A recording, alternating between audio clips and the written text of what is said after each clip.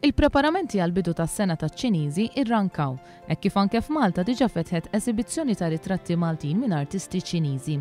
Bdew ukoll il-preparamenti għall-ikel bix-xef jgħidilna li l-menù tradizzjonali jibda b'soppa, ikompli bi spring rolls jew wontons u l-platt prinċipali jkun il-majjal. Bħala deżerta huma popolari d-dumplings, magħmulin mir-ross u li huma simbolu tal-ġid. Għall-kuntrarju ta' ħafna Maltin, iċ-Ċiniżi ma jżidux fil-piż wara l-festi tal-Ewwel tas-Sena, minkejja li jieklu ħafna għali. Ix-Chef Ali jispjegalna għalfejn.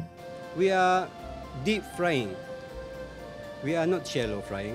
The first step is oil go inside and then our type of cooking is when we fry we have to be crispy. So after crispy the oil go outside Jispjega kif iż-żejt li jużaw iċ-Ċiniżi huwa ferm aħjar għas-saħħa miż-żejt li jużaw l-Ewropej. Your oil or European oil is not suitable for cooking. Iċ-Ċiniżi wkoll iħobbu jqattgħu l-ewwel tas-sena mal-qraba tagħhom. Most of us hardly gather together so it's the one time in the year that we can have the whole family at the same place.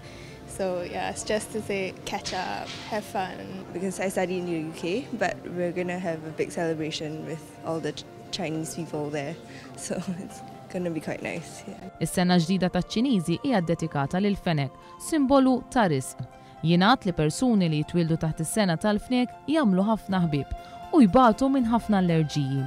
Nies famużi li twieldu taħt dan is-simbolu huma Angelina Jolie, Drew Barrymore, Edith Piaf, Kate Winslet u Tina Turner.